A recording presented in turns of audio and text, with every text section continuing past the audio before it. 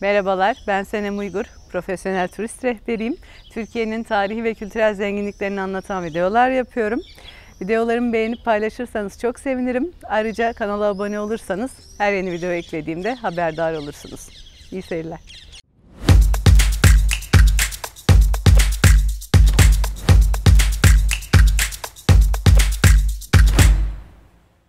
Türkiye'nin en çok ziyaret edilen müzelerinin başında gelen Topkapı Sarayı'nın önündeyiz. Bugün size buranın en çok merak edilen bölümü olan harem dairelerini tanıtacağım. Topkapı Sarayı 1923 yılından beri bir müze olarak kullanılıyor. O yüzden harem dairelerine girmek için ilk başta Topkapı Sarayı'na girmeniz gerekiyor.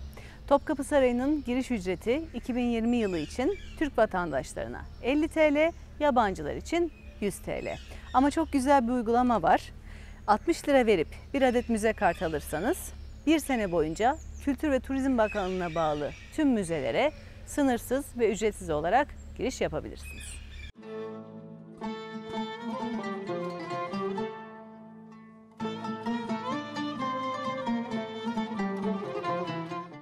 Harem kısmında müze kart geçmiyor. O yüzden hareme girmek isteyen 6 yaşından büyük herkes bir bilet almak zorunda. Bilet ücreti Türk vatandaşları için 35 lira, yabancılar için de 70 lira.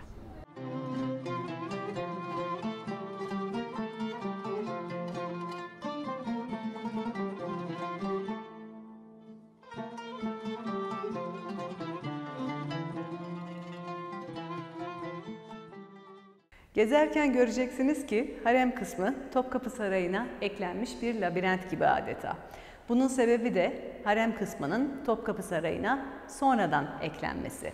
Hürrem Sultan'dan önce harem kadınları günümüze ulaşmayan Beyazıt'taki eski sarayda yaşarken Hürrem Sultan'ın isteğiyle harem buraya taşınmış. Gezerken fark edeceğiniz bir başka detay da mahremiyet endişesiyle oldukça yüksek olan duvarlar ve bu yüzden oldukça loş olan koridorlarla odalar. Ayrıca gezerken her tarafı süsleyen muhteşem çinilerin güzelliği aklınızı başınızdan alabilir.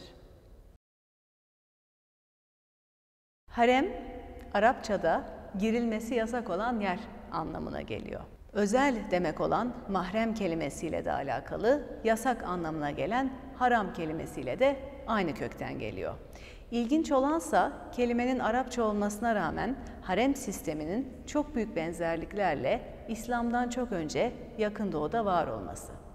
Yazılı kaynak eksikliğinden dolayı haremle ilgili bilgilerimiz çok kısıtlı. Fakat şunu biliyoruz ki Osmanlılar harem sistemini İslam öncesi İranlılardan, Sasanilerden ve Bizanslılardan almışlar.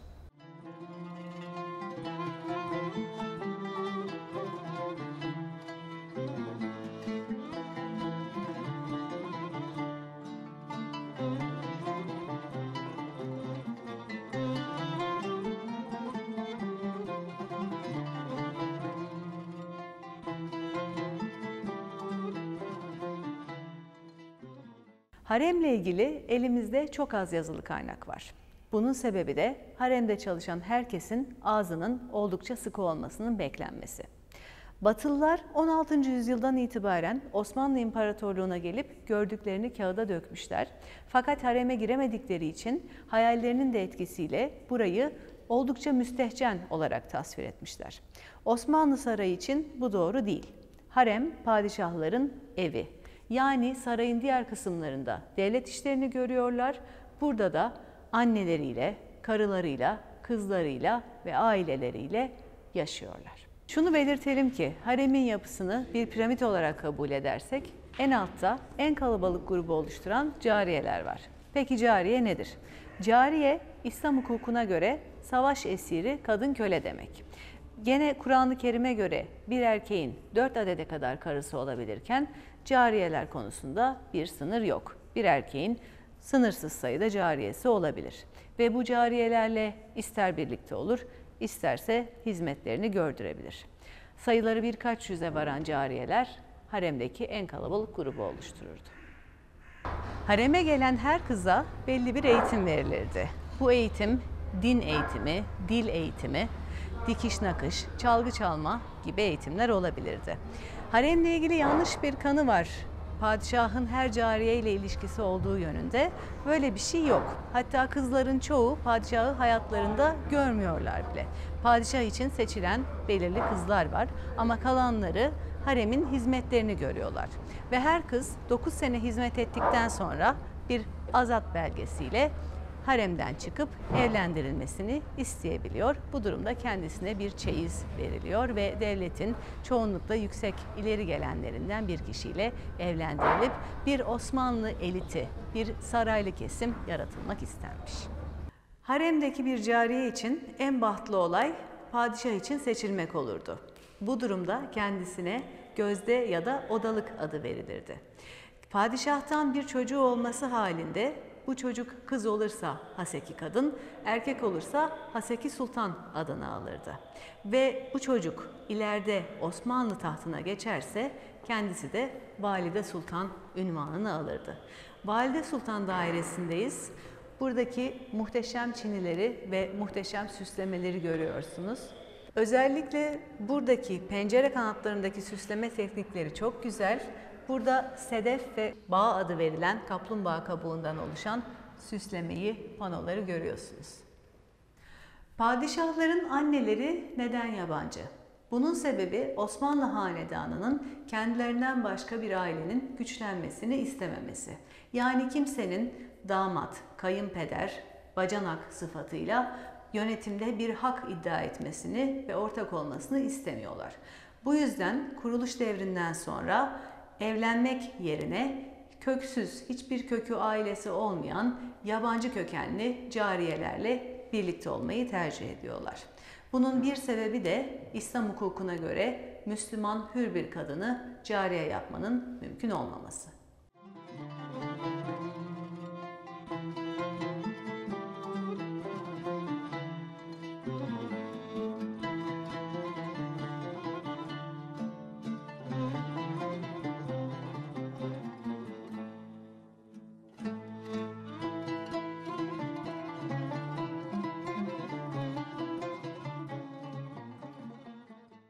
Üçüncü Murat'ın yaptırdığı has odadayız. Burası sarayın en etkileyici yerlerinden bir tanesi. Normalde çok aydınlık, ışık alan bir yer olmasına rağmen şimdi restorasyon nedeniyle biraz karanlık. Ama süslemeler gözünüzü alacak. Muhteşem bir çini kuşağı var ve bu çini kuşağına İznik çinileriyle ayetel kürsi işlenmiş. Ayrıca bu odada iki adet baldaken biçiminde tahta var.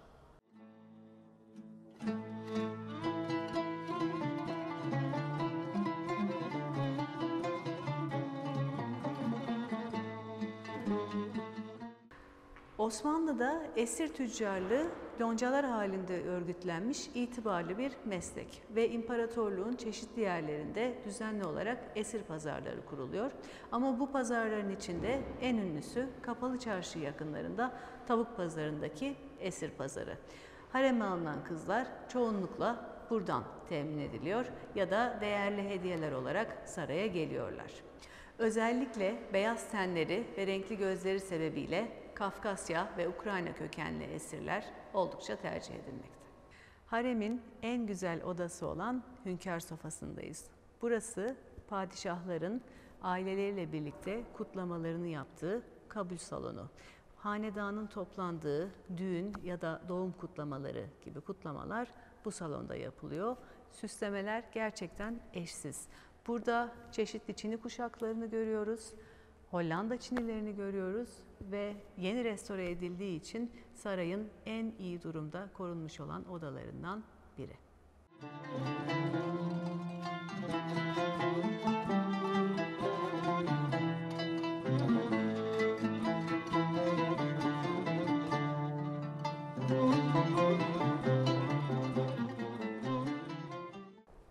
Osmanlı hareminde kadınların hayatı nasıl?